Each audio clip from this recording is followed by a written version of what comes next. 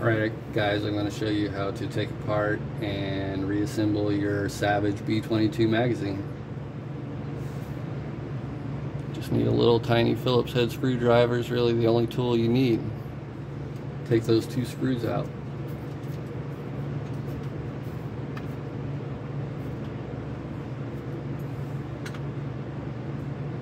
Now it pops apart.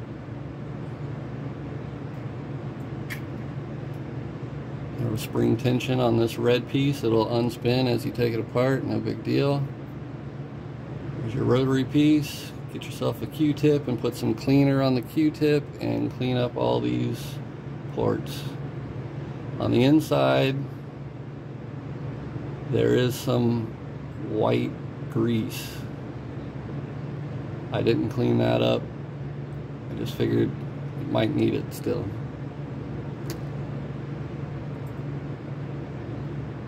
Your spring. It's got a little arm on both ends of the spring that interact with this little groove, with these grooves here. One groove is in that red rotary piece though. Alright, you cleaned it all up.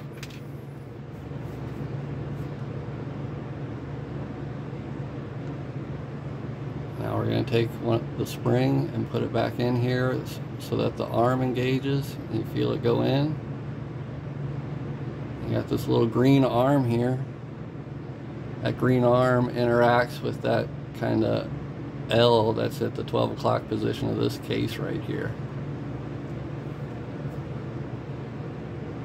So we need to recreate tension between these two pieces. So the other spring, the spring goes into this little thing here. Um, Savage says the proper tension is one full turn. And uh, so this is 12 o'clock with the green on top and 12 o'clock with that bullet, um, you know, the area where you load the bullets in right here, chamber at the top here. So that's, that's 12 o'clock. So if you want to do what they're suggesting, you put both of these in the 12 o'clock position with the spring locking in. With the red facing left, you turn towards you one whole turn.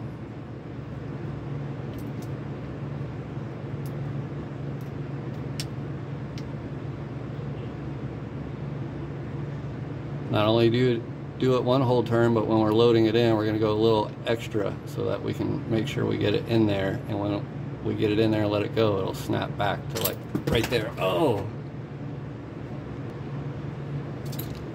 Sorry, had to regroup there. Lost a piece and had to find it. Anyways, uh, so Ruger wants you to do a full turn. I'm going to do a half a turn. So um, you'd find you got your piece in the 12 o'clock that with the loading chamber up top. Now with your green green area here uh, if you're going to do a half turn you would just like move that to this six o'clock load it in with the spring. Make sure they're interfering with they're locked in and then with the red facing left of you keep going. Now we're at 12 o'clock. Now I'd say go a little more so we can load it in no problem. And then I kind of give it like this little pinch claw. Now we just kind of hopefully slide these two back together you need to make sure that that green area is going to be on the left side of that L and you push it in there and then it's just going to automatically flip up on its own and catch on that L. Hold it together, not really that hard, and put your screws back in.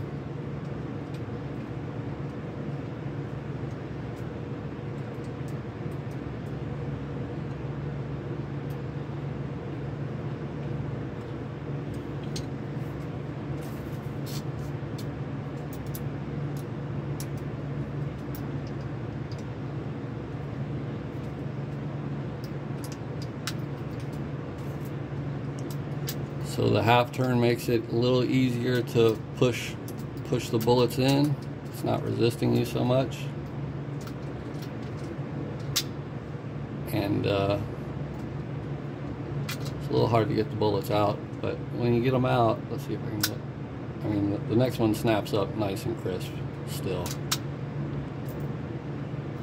Um, I also made a video on uh, reducing the magazine sloppiness in the uh, magazine well of on this uh, gun so if you got a lot of slop with your magazine I've got literally like a one penny solution to fix fix your problem.